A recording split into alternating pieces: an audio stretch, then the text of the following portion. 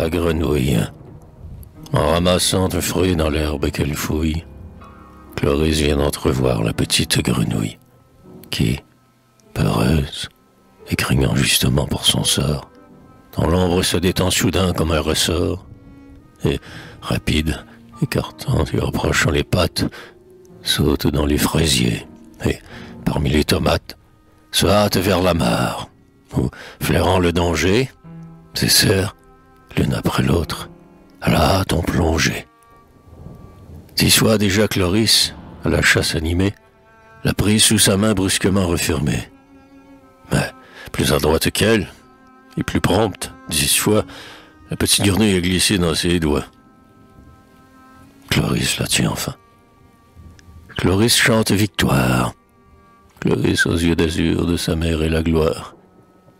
Sa beauté rit au ciel. Sous son large chapeau, ses cheveux blancs coulant comme un double ruisseau, couvrent d'un voile d'or les roses de sa joue. Le plus clair sourire à ses lèvres se joue. Curieuse, elle observe n'est point sans émoi à l'étrange contact du corps vivant et froid. La petite grenouille en tremblant la regarde. Et Cloris dont la main lentement se hasarde, à pitié de sentir, affolé par la peur, si fort entre ses doigts battre le petit cœur.